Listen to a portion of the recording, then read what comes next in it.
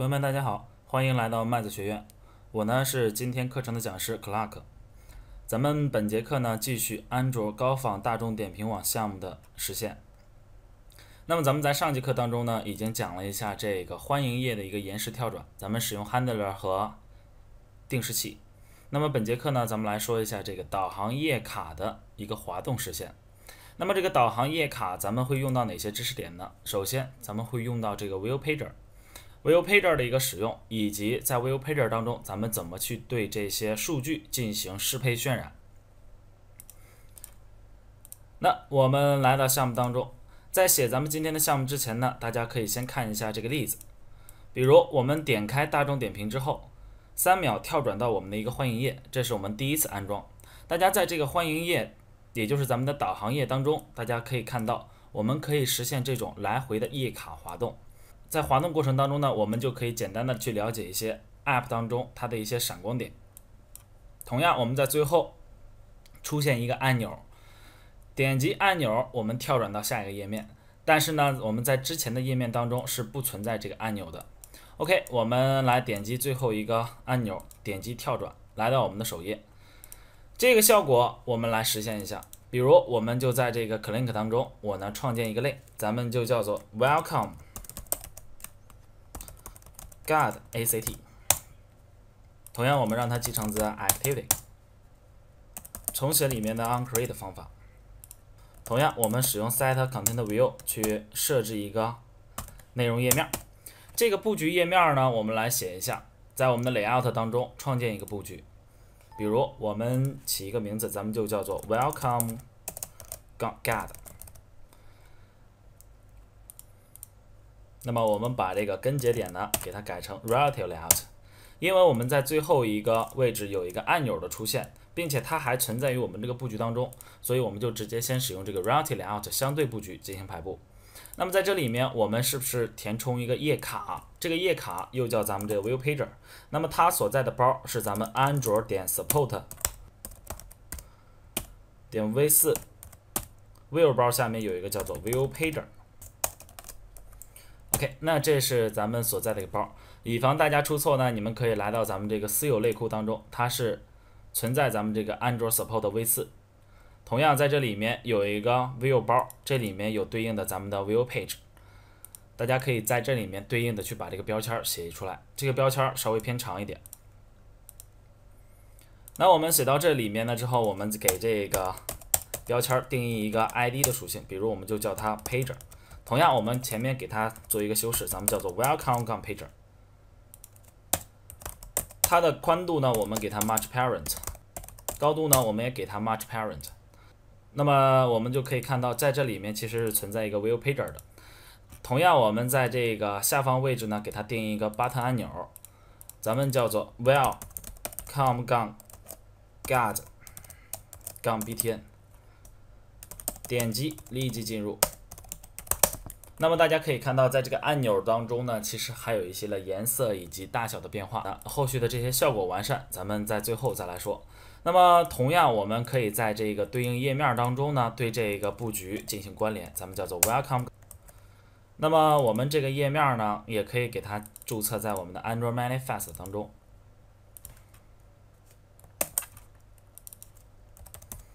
Welcome 杠 Get。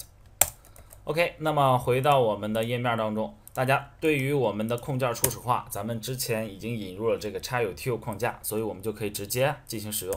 那么我们在前面呢，就给它声明一个 button 按钮，咱们起个名字叫做 btn，以及我们的 view page，我们起个名字就叫做 pager。那么使用注解的形式给它关联起来，比如我们使用 view inject，id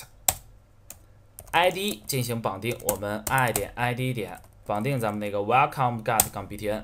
同样的，我们在这个 pager 上面呢，也给它使用注解进行填充。view inject，我们使用 r 点 id 点，咱们叫做 welcome 杠 pager。那么在这个页面当中呢，我们就要使用一个 view utils，调用它的 inject 方法，填充咱们的 this。OK，那么接下来呢，我们点击按钮也要实现一个效果，所以我们也给它加一个 onclink 的注解。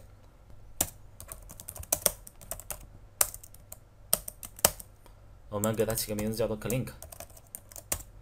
在这里面不要忘了它的一个重载的参数 view。那么在这上面呢，我们给它添加这个 id 二点 id 点，到底给哪个控件添加咱们这个点击的一个监听？那么添加了这个监听之后呢，我们来看一下，对于这个控件我们已经初始化完了。那么我们怎么去使用这个 View Pager 呢？这时候我们就要对这个 View Pager 进行初始化。当然，我们这块已经进行了咱们这个 View 对象的一个绑定。那么接下来呢，我们就对这个 View Pager 进行初始化。初始化 View Page 的方法，在这个当中呢，我们封装一个方法，咱们叫做 Void，我们叫做 init View Pager。那么同样，我们在这个 onCreate 方法当中，我们去调用这个方法。那么大家可以从这里面看到，我们这里面每一个其实都是一个 View 视图，并且我们在这个页面的视图呢，已经在之前的时候给大家放到了这个 HDPI 当中，它每一个都是一张图片，大家可以看一下。我们在这里面的出现的其实都是一张图片。那么怎么去把这些图片放在咱们的 View Pager 当中呢？这时候我们去定义一个 List 集合，里面放上咱们的一个 View 对象。当然，我们在这边填充的是一个 Image View。那我们在这个 Init View Pager 当中呢，对我们的 List 集合进行一个初始化。同样，我们要把三张图片放进去，这时候我们就拿到这个 Image View。首先，我们定义一个 Image View，使用咱们当前的 Context 对象 This。再给这一个 image 对象呢，设置它的一个 image resource，设置我们的图片资源，我们使用二点 drawable 点，拿咱们的 Guide 零一，并且呢，我们把这个定义好的这个 image view 对象给它填充到我们的 list 集合当中。OK，那么大家，我们在这一块呢，已经填充了三个 image view 对象，分别对应我们的 Guide 零一、Guide 零二以及 Guide 零三。那么这时候，我们的一个数据源就已经放在这里了，list 集合已经被初始化完毕。那么接下来我们要使用 View Pager 的时候，我们就要使用一个方式，叫做 Pager 点一个叫做 Set Adapter。同样，它也是使用适配器的形式进行实现的。但是呢，这里面的适配器咱们使用到的是一个叫做 Pager Adapter 的。所以呢，我们在这个下方给它使用一个 class，比如我们定义。View Pager 的适配器，那么我们比如叫做 My Pager Adapter，让它继承子。首先，咱们回忆一下，在之前使用自定义适配器的时候，我们会让它继承子 Base Adapter，但是呢，我们在这一块位置呢，使用到了一个叫做 View Pager，它继承的是一个叫做 Pager Adapter。在这里面呢，同样也是根据一种实现，实现一些未实现的方法。抽象的方法里面，首先拿到的是一个 get count，计算需要多少 item 显示。那么我们这个 get count 方法呢，就是咱们 list 集合里面的 view 的个数，所以我们使用的是一个 list 点 size。那么接下来 is view from object，这就是将咱们的 object 对象和 view 进行对比，所以我们在这里面使用这个 arg 零。等等，arg 一，如果它俩是同一个对象，返回值就是咱们的一个 true。那么重写出来这两个方法呢还不够，我们还需要重写两个方法，一个就是咱们初始化 item 的一个实例。你比如我们在这个 view pager 进行滑动的时候，其实你每次滑出来一个页卡，就相当于我们 view pager 多出来了一个 item，只不过这个 item 呢显示成是一种页卡的形式。那么我们接下来就要重写两个方法，一个是初始化。Item 实例的方法，咱们有一个叫做 instantiate item，重写出来咱们这个方法。同样，我们有一个页卡进行滑动的时候，另外一个页卡就相当于要被销毁掉，所以我们也要重写出来一个叫做 destroy item。当然，这里面都有一些被废弃的方法，咱们使用这种替代好的没有被废弃的方法。那么在这里面呢，分别对应的是咱们这个 item 销毁的方法。那么在这两个方法当中，我们应该怎么进行实现呢？这时候就需要大家分析我们怎么去实现这个 view pager 的。我们滑动一个页卡进来的时候，其实相当于将一个 view 对象填充到我们的 view pager 当中进行显示。因为 view pager 只能显示一个视图样式，所以呢，我们在初始化的时候需要将我们的 view 对象在这边呢，我们的 view 对象就是咱们的 image view，把我们的 image view 放到这个 view group 当中。view group 这边有一个对象定义的就是 container，其实在这里面就是咱们的 view pager。那么我们就直接使用咱们这个 container 对象，调用它的 add view 方法，添加一个 view 对象进来。当然，我们拿到哪个 view 呢？使用咱们这个 list 点 get position，根据传过来的索引位置，我们去拿到索引位置上的 view 对象。同样，它返回值呢也是一个 object，正好就和咱们前面的这个方法进行了一个对比。所以呢，我们这里面返回的也是咱们这个 view 对象，list 点 get position，我们拿到当前的一个 view 对象。那销毁的时候，我们应该怎么办呢？是不是相当于我们要从这个 view pager 当中将我们之前的那个页卡进行销毁掉，对吧？在我们这个 destroy item 当中呢，我们就需要将这个 view 对象进行移除，在我们的 view pager 当中。所以咱们调用的是咱们这个 container。调用它的一个 remove view，这里面呢，我们传过去这个 view 对象，使用咱们的 list get position 进行传入。OK，这时候呢，我们 view pager 的适配器就已经写完了，所以我们在这个位置呢，就可以使用 set adapter，使用咱们这个 new 一个 my pager adapter，这样的话，我们就可以将这个页卡进行显示。那么我们先把这个 Welcome Guard 给大家先运行一下，看一下效果。我们呢把这个页面首先被运行，OK。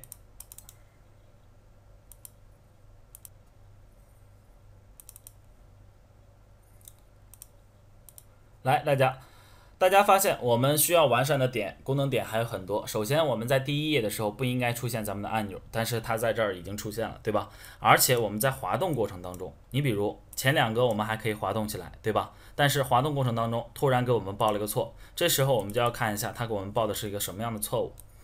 在我们这边呢有一个报错，告诉咱们 unsupported operation exception required method destroy item was not overridden。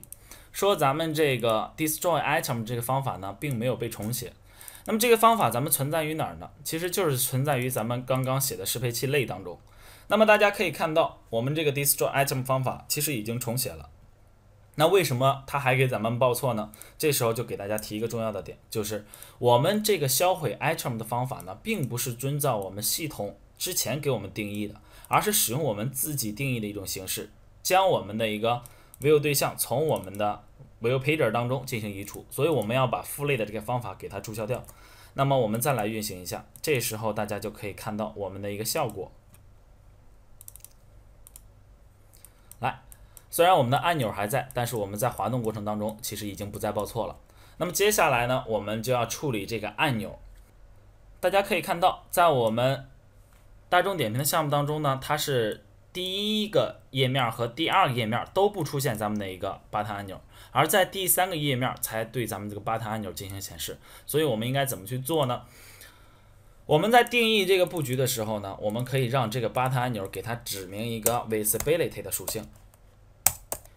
它有三个参数，这三个参数分别是 visible、invisible 和 gone。visible 是可见，invisible 呢是不可见，gone 叫做隐藏。Invisible 在不可见的时候呢，那块区域还是被保留；而 Gone 进行隐藏的时候，这块区域不会被保留。所以我们先使用这种 Gone 的形式。大家可以看到，在我们页卡当中，其实已经看不到我们那个 Button 按钮。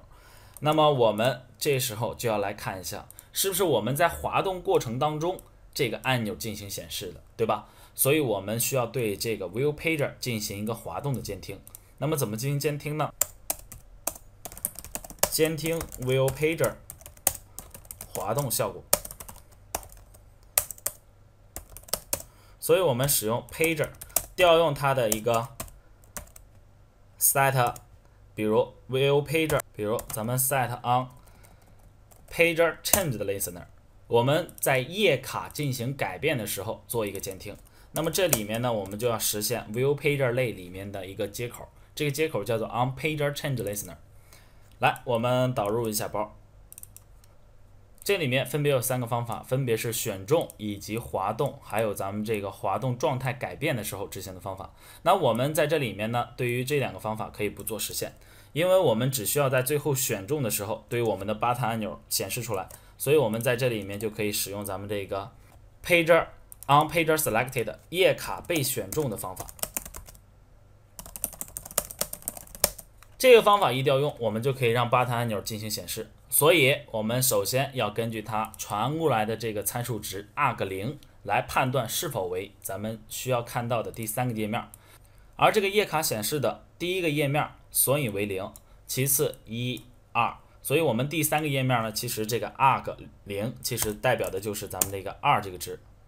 if 如果我们的 arg 零等于二的时候，表示如果是第三个页面。我们就让这个 button 按钮 btn 调用它的一个 set visibility，使用咱们 view 点 visible。当我们看到第三个页面的时候，让它进行显示。同样的 else 在其他页面当中，我们给这个按钮做一下隐藏，set visibility，使用 view 点杠。那么在这里面呢，我们就实现了这个页卡的一个隐藏。那么咱们再来运行一下。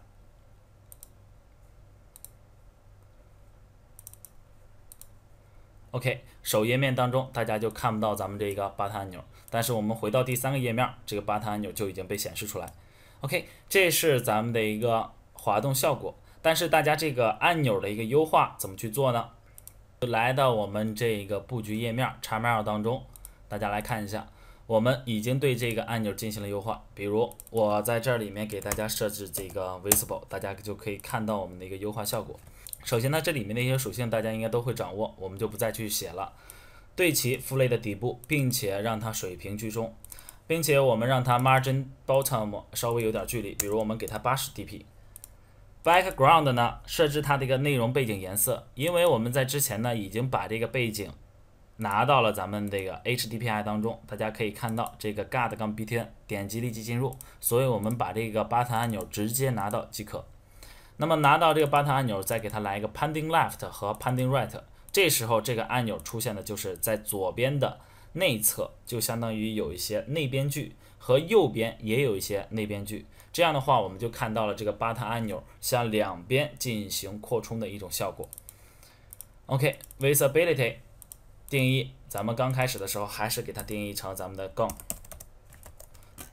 那么接下来呢，我们来运行，看一下效果。OK，首先我们进行滑动，滑动到第三个页，点击立即进入。当然，我们要实现这个点击效果，点击立即进入的时候该怎么去做呢？回到我们的 Get 当中，当你在点击的时候，我们回掉了这个 Click 方法，所以我们在这里面实现的是一个页面的跳转。这个在之前的时候咱们已经说过了，就是 Start Activity，使用咱们 New 一个 Intent 对象。我们呢，先让它跳转到慢页面，所以刚开始我们使用 get basic context，以及跳转到我们 my activity 点 class。OK，这时候我们再去点击的时候，就能出现咱们的一个效果。来，我们点击进入，来到咱们的一个首页。那么咱们本节课的知识点讲到这儿之后，咱们来思考一个问题。你比如我们在第一次运行的时候看到了这种导航页，但是我们第二次再去运行的时候，是不是就应该没有咱们那个导航页，对吧？所以我们应该怎么去实现呢？这时候我们就要对这个刚开始欢迎页面进行跳转做一个判断。这个知识点呢，咱们会在下节当中给大家带出来。所以呢，我们让它启动这个页面就可以做了一个更改。我们同样让它启动至咱们这个欢迎页面。并且呢，我们在这个欢迎页面当中，让它跳转，不再跳转到我的慢了，而是跳转到我们的 Welcome Get。我们在跳转完毕之后呢，也需要对我们这个页面进行关闭。所以呢，我们对这个 Button 按钮跳转之后呢，也要调用咱们这个 Finish 方法结束当前页面。OK，我们第一次运行，它会从我们的一个欢迎页跳转到我们的一个导航页。当这个导航页点击立即进入这个按钮一执行的时候，来到我们的首页，那么我们退出这个应用程序，下一次再点击进入的时候，是不是就没有看到我们的一个导航页，对吧？但是这边呢，我们并没有做处理，所以大家来想一下，我们应该怎么去做处理呢？这个知识点咱们在下节课当中给大家讲到。本节课的知识点呢，就给大家讲到这里，欢迎大家持续关注咱们这个麦子学院的课程。